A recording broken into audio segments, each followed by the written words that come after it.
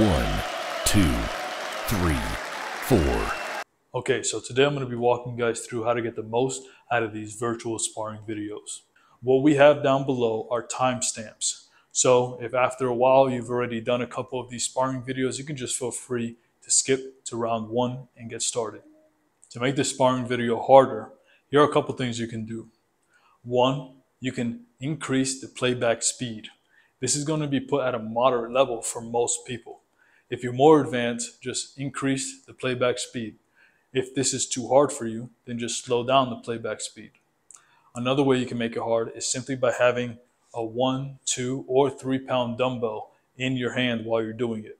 Trust me, it's going to get increasingly hard the more rounds that you do. You're going to be doing three minutes on and one minute off, like a traditional boxing round. Each minute during the working round will be divided by reactive, defense, and counterpunching. During the reactive drill and the counterpunching drill, that's when you punch. During the defensive drill, that's when I punch, and you work on your defense. So now let's break down each section. The first one we're going to talk about is the reactive drill, where you're going to primarily focus on punching with speed. All the punches will be labeled as such. L means left hand, and R means right hand. Now, this video benefits those who are of an orthodox stance in boxing. So if you're southpaw, this won't really be applicable for you. But if you're an orthodox stance, meaning your left hand is forward and your right hand is back because you're right-handed, then this will be beneficial for you. Now what it says after L or after R is the type of punch you're going to throw. So for example, if we're in your boxing stance with your hands up, if I say L jab, it means you're going to throw a left jab, which is basically a lead jab. If I say R cross, you're going to throw a right cross. If I say L hook, you're going to throw a left hook. If I say R hook, you're going to throw a right hook. If I say L upper, you're going to throw a left uppercut. If I say R upper, you're going to throw a right uppercut. And those are all of your punches. So during your reactive drill, you're basically going to want to react and punch as soon as you see the opening. So if I raise my left elbow, you're going to throw a right hook or a right cross to the stomach. If I raise my right elbow, you're going to throw a left hook to the stomach. And whatever variation of that there is. So if I drop my left hand, you're going to throw a right cross. If I drop my right hand, you're going to throw a left hook, and so on and so forth. Whatever opening I create, you have to go for it as quickly as you can. Don't focus on power, focus on speed for that portion of the round. The next one we're going to talk about is going to be the defensive drill. During the defensive drill, you will be slipping, weaving, and blocking. So, for example, if I throw any straight punch, which is left straight or right straight, you're just going to slip, simply slip and move laterally with your head. Make sure to keep your elbows up and keep your hands touching your face. You don't want to do this. Keep your hands up here. If I throw any hook variation, you want to go under the hook. So bend your knees, squat, and go under the hook. Like that. If I throw an uppercut, which is a right uppercut or a left uppercut, you can feel free to just lean back. If I throw a body shot, any variation of a body shot, you simply just want to dip in the direction that the body shot is coming from. So if you're throwing a left hook to the body, just dip the elbow down, bend the knees a little bit, and that's how you block a body shot. Don't block a body shot trying to catch it away from you. You might create an opening and get hit. So just stay tight, tilt, block, tilt, block. If I throw a right hook to the body, you're going to just dip the left elbow, keeping your elbows nice and tucked, and bend your knees a little bit and block block, block. If I throw it straight to the body, you can simply slightly rotate like so. That's it. That's all you have to do. The idea is to have minimal movement so that you don't unnecessarily exhaust yourself. When you're sparring, you want to make sure that you reserve energy for when you need it most.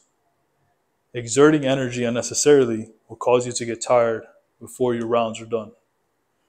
Elbows in, twist to block. You can also block with your right.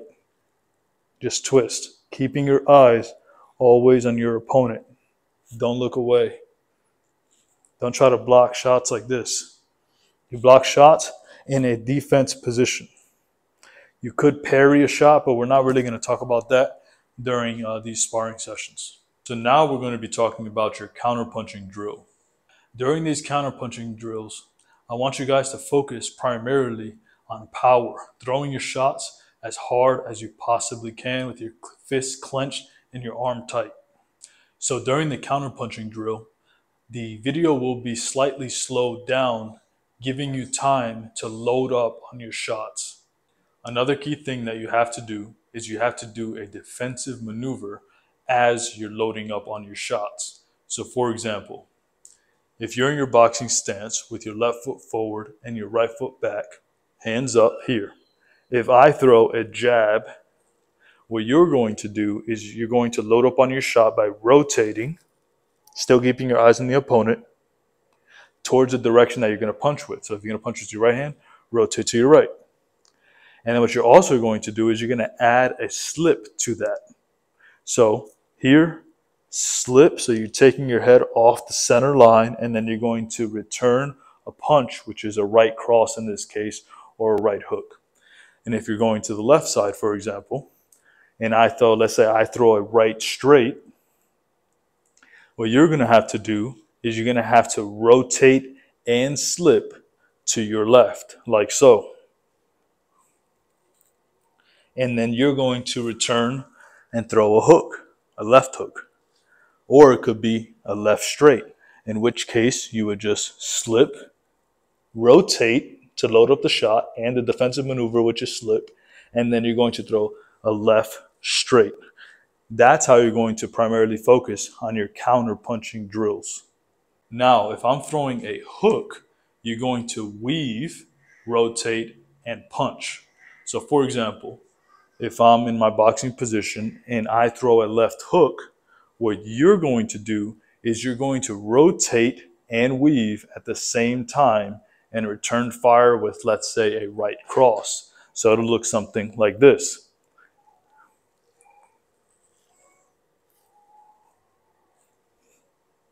And if I throw a right hook, for example, you're going to rotate towards your left and you're going to do a defensive maneuver. Defensive maneuver, which is a weave, and then you're going to rotate, loading up the shot, and you're going to throw a left hook. Now for uppercuts, it's very simple. You're simply going to lean back and then punch. You're going to get into your boxing stance with your hands up, elbows in. If I throw a right uppercut, what you can do is simply lean back. That's a defensive maneuver. And then you're going to load up the shot as you're leaning back. So it's going to look something like this.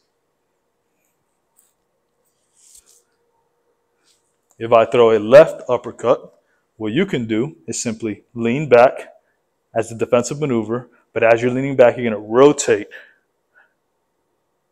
And then you're going to throw a right straight as an example.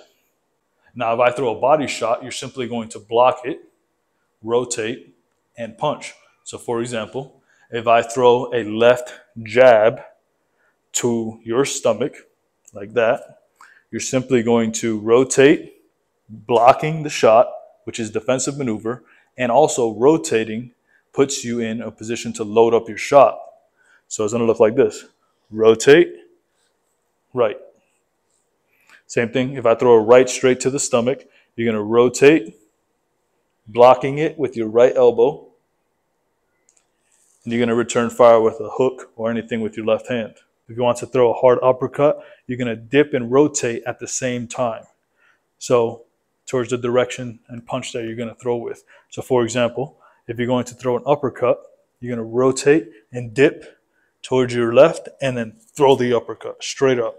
Same thing with the right uppercut. Dip, rotate, come straight up. And that's it, guys. Let's get right into the sparring video now.